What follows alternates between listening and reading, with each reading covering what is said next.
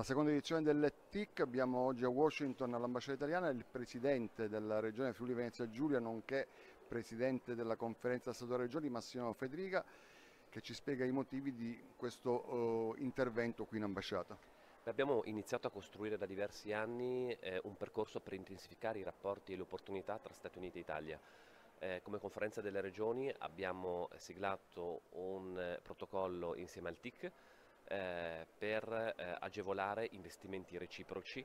e poi anche con una visione molto chiara eh, di eh, assetto e strategia politica che deve vedere il nostro paese, gli Stati Uniti e la relazione transatlantica come asse fondamentale eh, anche in prospettiva. Le tensioni globali che stiamo vedendo mettono a repentaglio eh, tutte le nostre filiere produttive, soprattutto quelle strategiche, e dobbiamo dare risposte come istituzioni eh, in grado invece di mettere a riparo il mondo dell'impresa, il mondo del lavoro che traduce poi il mondo delle libertà per i nostri paesi.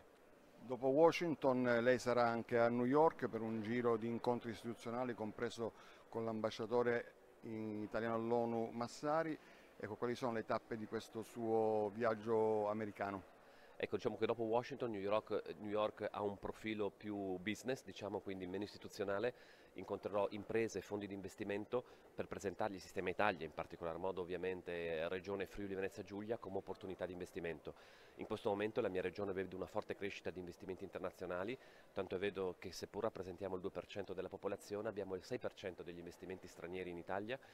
e, e, soprattutto è un territorio che offre l'opportunità non soltanto del mercato interno ma di tutta un'area geografica europea, quella del sud eh, ed est Europa che può risultare veramente importante anche in considerazione della crisi eh, russo-ucraina che, eh, apre, eh, che chiude dei mercati ma apre nuove opportunità anche per il Frivenza Giulia e per chi vuole investire in quell'area geografica europea.